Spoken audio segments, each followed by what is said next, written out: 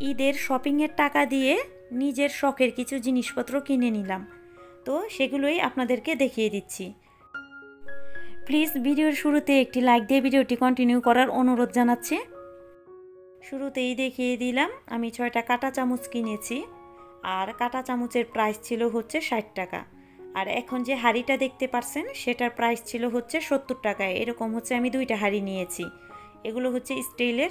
আর এই রকম হচ্ছে ঢাকনাযুক্ত আমি তিনটা হাঁড়ি নিয়েছি। এই হাঁড়িগুলো আমার বেশ ভালো লেগেছে। এই হাঁড়িতে খাবার দাবার রেখে ফ্রিজে কিন্তু ঢেকে রেখে দেওয়া যাবে। এর জন্যই আমি এরকম তিনটা নিয়েছি। আর এখানে যে তিনটা, এরকম ছোট ছোট বাটি নিয়েছি। তিনটা তিন সাইজের বড়, মেজো আর একটা ছোট। তো আমার কাছে এই বাটিগুলো বেশ ভালো লেগেছে। এই বাটিগুলোর প্রাইস ছিল একশো টাকা তিনটার দাম। আমার কাছে কিন্তু অনেক বেশি ভালো লেগেছে। আর নিয়েছি হচ্ছে আমি একই রকম বারোটা চামচ, এখানে এক ডজন চামচ আছে আর এটার প্রাইস ছিল একশো চল্লিশ টাকা। তো একশো চল্লিশ টাকা দিয়ে আমি বারোটা চামচ পেয়েছি, আমার তো বেশ খুশি। আর আমি যেখান থেকে এই জিনিসগুলো কিনেছি ওখানে হচ্ছে এরকম ডজন হিসেবে বিক্রি করে। এর জন্য কিন্তু এরকম একটু বেশি বেশি আনতে হয়েছে। আর বাকি যে জিনিসগুলো একটা একটা করে নিয়ে এসেছি, ওগুলো ভাইয়াকে বলে রিকোয়েস্ট করে তারপর নিয়ে এসেছি। ওনারা কিন্তু এরকম দুই একটা জিনিস বিক্রি করে না। আমি বলাতে রিকোয়েস্ট করাতে উনি আমাকে দিয়েছিল।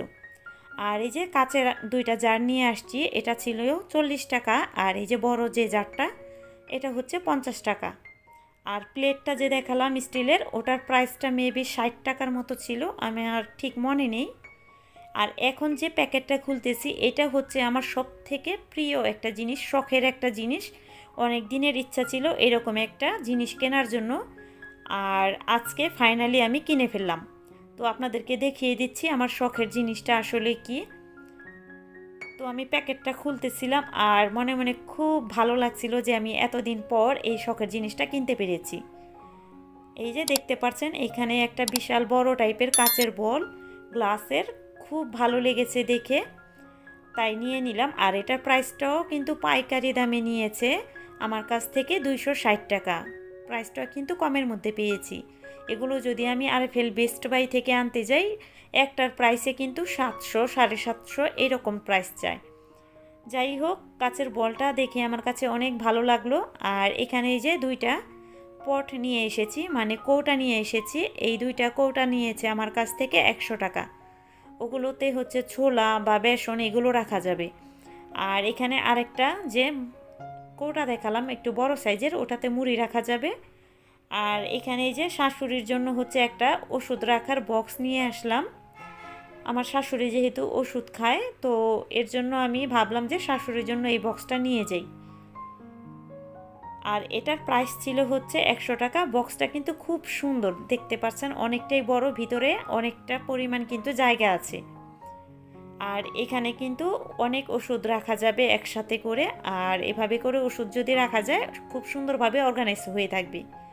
আর আজকে আমি যে জিনিসগুলো কিনেছি, সেগুলো প্রত্যেকটা প্রাইস কিন্তু আপনাদের মাঝে বলে দিয়েছি। আপনারা অনেকেই কমেন্টের মধ্যে জিজ্ঞেস করেন, আপু, এটার প্রাইস কত? ওটার প্রাইস কত?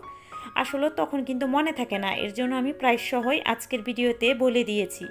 আপনারা অবশ্যই কমেন্ট করে জানাবেন আমার আজকের এই কেনাকাটাগুলো কেমন হয়েছে। আর আমি সবসময় কিন্তু এমনই নিজের জন্য কেনাকাটা না করে সংসারের জন্য কেনাকাটা করে থাকি। আজকের মতো এখানে বিদায় নিচ্ছি। সবাই ভালো থাকবেন, সুস্থ থাকবেন। আল্লাহ হাফেজ সবাইকে।